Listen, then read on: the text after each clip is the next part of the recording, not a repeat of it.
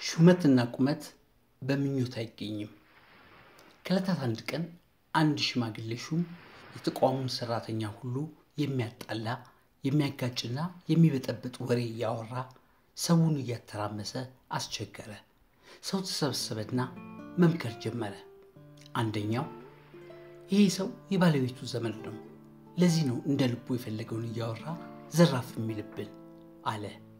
ሁለተኛው ታዲያ ባለቤቱም ቢሆን እኮ ውሸት አይፈቅዱም። ሶስተኛው እሱን እንኳ እሳቸው ካልተናገሩ ማንም አያውቅም።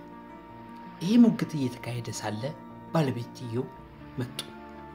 ምንድነው የሚያጫጫኋችሁ አሉ። ከተሰበሰቡት መካከል አንዱ ጌታዬ፣ ይሄ የእርሶ ልጅ በጣም አስቸገረን። ምን አድርጎ? እየዋሸን። ታዲያ ውሸት ለእናንተ አዲስ ነው እንዴ?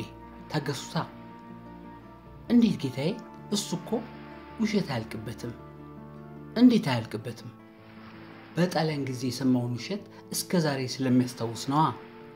ያ ከሆነማ ከዛሬ ጀምሮ ተሰናብቶላችኋል አሉ ባለቤቱ። ውሸት ሁሌም ውሸት ነው። የጣሊያን ጊዜ ውሸትና የዛሬ ውሸት ብሎ ልዩነት መፍጠር የለም።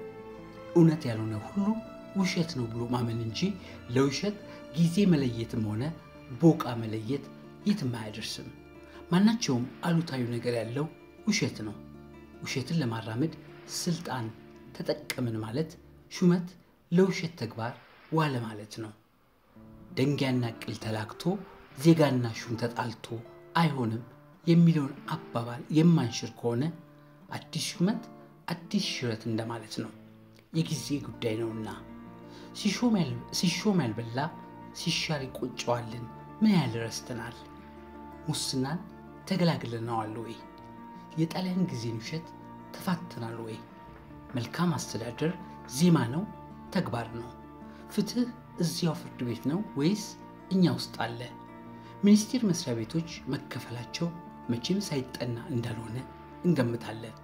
ለጠቅላይ ሚኒስትር መስሪያ ቤት በርካታ አማካሪ ሲሾ ያለ ጥናት እንዳልሆነ እንዳልገመትን ሁሉ ጠርጥር ጉዳለ በሰኔ የሚለውም ሆነ የፊት ወዳጅሽን በምን ሸኘሽው በሻሽ ለምን የኋለኛው እንዳይሸሽ የሚለው እንደ ጊዜው የሚፈረጁ ናቸው።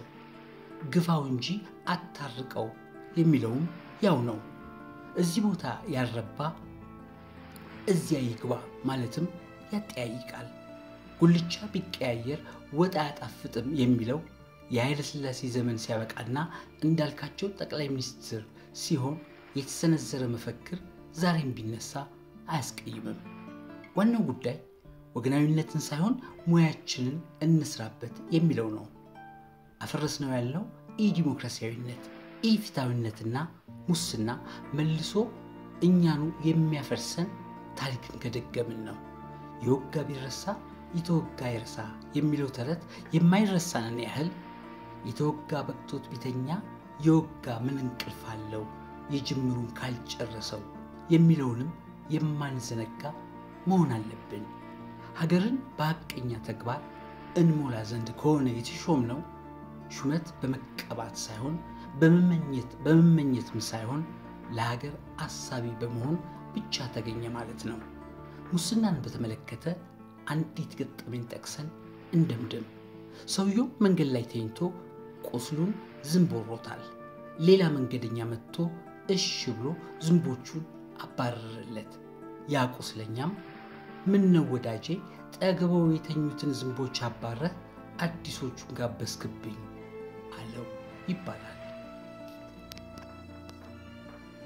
ውድ የቻናላችን ተከታታዮች ትኩስ መረጃዎችና የተለያዩ ማህበራዊና ፖለቲካዊ ዘገባዎች እንዲሁም ትረካዎች በሰዓቱ እንዲደርሳችሁ የአዲስ አድማስን YouTube like እና subscribe ያድርጉ። ሰናይ ጊዜ